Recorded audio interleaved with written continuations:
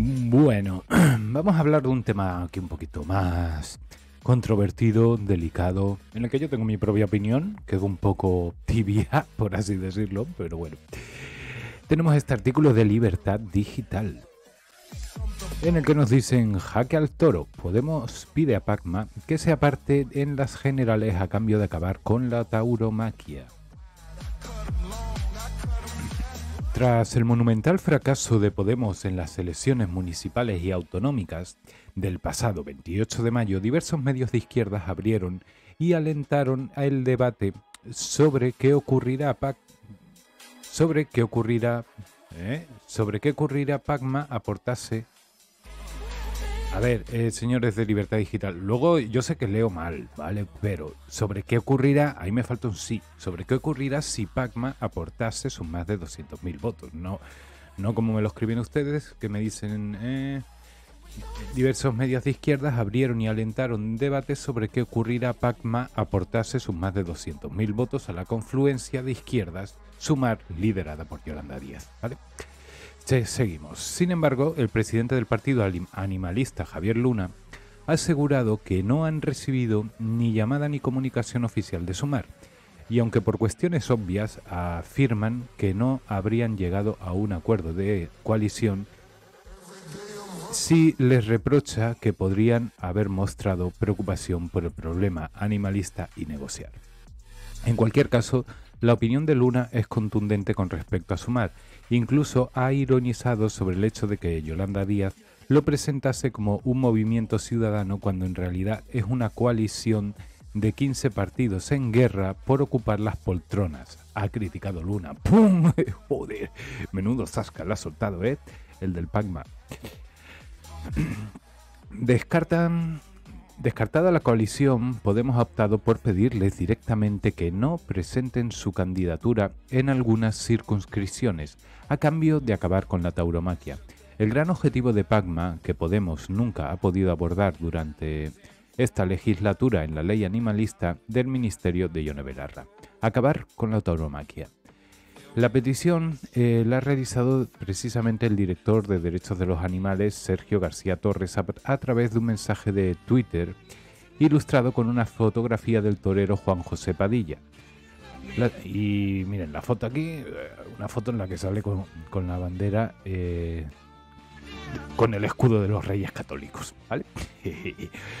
la petición, vale, la petición la ha la ha realizado el subnormal este en Twitter, una fotografía de Padilla. Vale, la suma de todas las fuerzas progresistas nos da la posibilidad de que en la próxima legislatura avanzar más aún en políticas de protección animal, derrogar la ley de protección en la tauromaquia 18-13, aprobar el reglamento de la ley 7-23 aplicando la protección a los animales.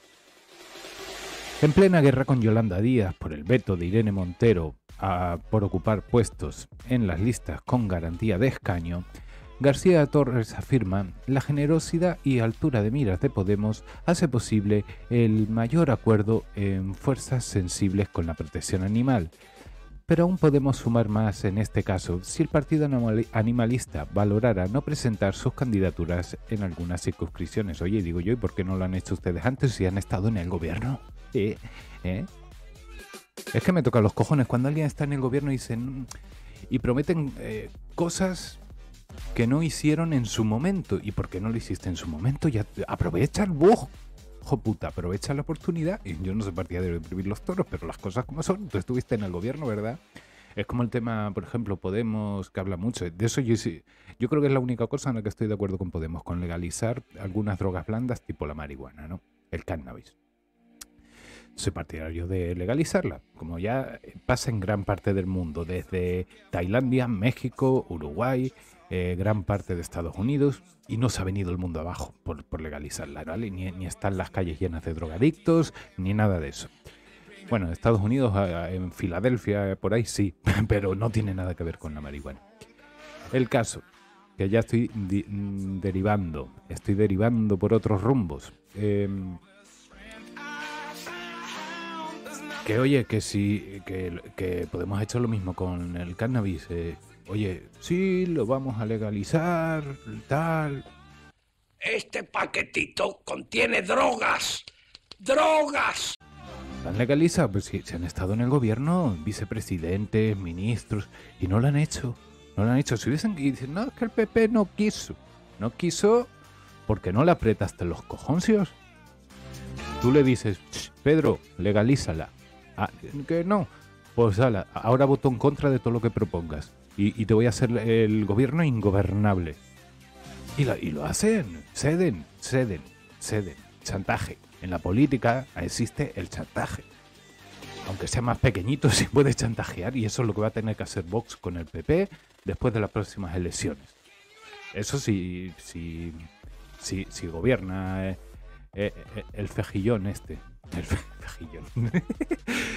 vale. El caso es eso. Que oye, tanto que hablas de prohibir los toros y tal y sacar una ley de protección animal infame, infame una ley en la que ya la abuela no podrá tener ni un periquito. Ni un periquito. En fin. Eh, y no lo hicieron, ¿no? ¿no? No han prohibido la tauromaquia. Y aquí tiene razón el señor del Pacma, ¿eh? Em, vale, vamos a seguir leyendo. Por ese motivo pide a Pacma que reflexione porque lo importante son las propuestas. Y concluye eh, prometiendo lo que hasta ahora no han podido cumplir. Nos queda mucho por hacer y estos años que vienen pueden ser eh, los que veamos desaparecer la tauromaquia. Pueden ser. Pagma, primera fuerza extraparlamentaria. Esto es una verdad como un templo y una gran injusticia que se hace con este partido. Simpatice o no simpatice con ellos, que va a ser que no.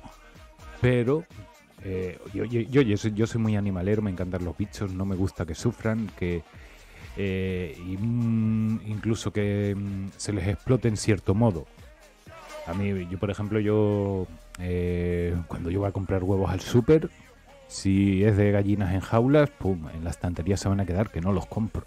Prefiero comprar los camperos, me sale más caro, vale, no compro mucho huevo, tampoco me preocupa demasiado. Entiendo quien los compre por tener una economía más apurada, porque unos huevos camperos valen casi el doble. Mira mi huevo.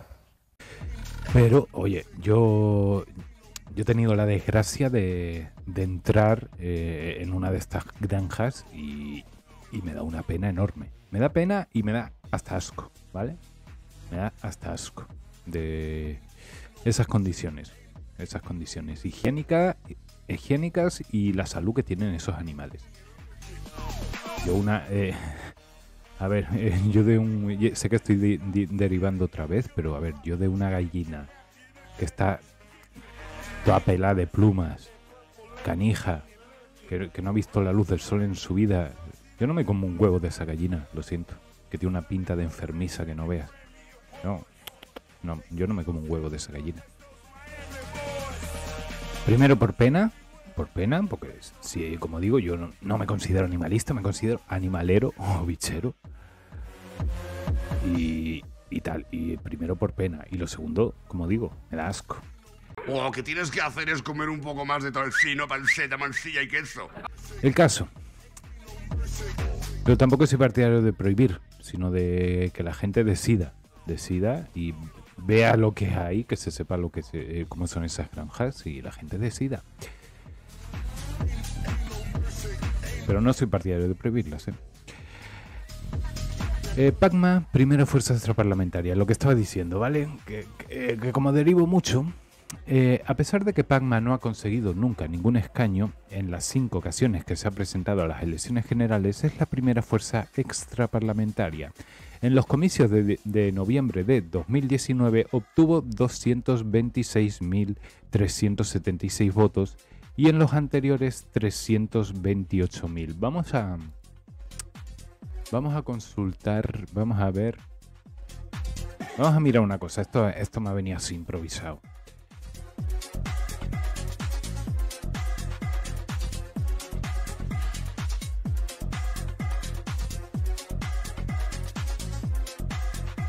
Vale.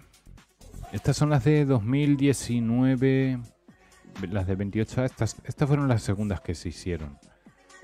Eh, me dijo que decía que en las anteriores obtuvo 300.000. Vamos a mirarlo. Las del 28A. Miren, aquí está. 300. Esto es una de las injusticias de la mierda del sistema electoral que tenemos. Ya sé que estoy eh, navegando por otros rumbos otra vez, pero a mí me parece esto un puto atraco a la democracia. Lo siento, lo siento. A mí este, este me ven, aunque estemos hablando de un partido porque no, por el que no tengo especial simpatía, ¿vale?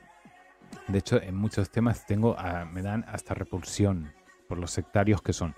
Esta tierra es de todos, esta es nuestra tierra. Pero, pero, las cosas como son. Este partido tuvo 326.045 eh, votos, ¿vale? El partido eh, eh, el PRC, el Partido Regionalista Cántabro, iba a decir Partido Republicano, el PRC obtuvo un diputado y 52.000 votos. Con un 0,2% de los votos obtuvo un diputado y el PACMA con un 1,25 obtuvo 326 votos. O sea, si son 300, 350 diputados, con un 1,25% de los votos, pues Hagan cuentas, entre 3 y 4 diputados le tocarían a este, a este partido. Entre 3 y 4 diputados que no tienen por la puta mierda de ley electoral que tienen. Y, es que para que vean las comparaciones, Bildu obtuvo 4 con 258.000 votos. Aquí está.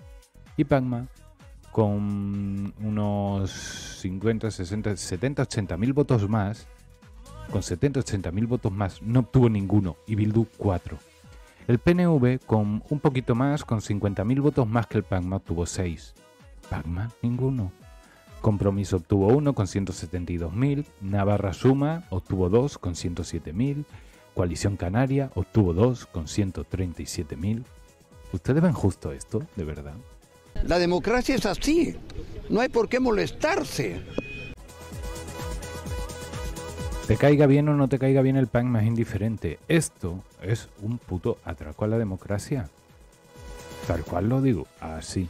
Así. Que alguien con 52.000 votos, o, si lo comparamos ya con las de 2019, y si lo comparamos con dónde está Teruel existe. ¿Dónde está Teruel existe? Teruel existe 19.000. Un 0,08% de los votos. 19.000 votos los habitantes de cualquier pueblito. Bueno, cualquier, cualquier pueblo no, pero ya, ya me entienden, ¿no?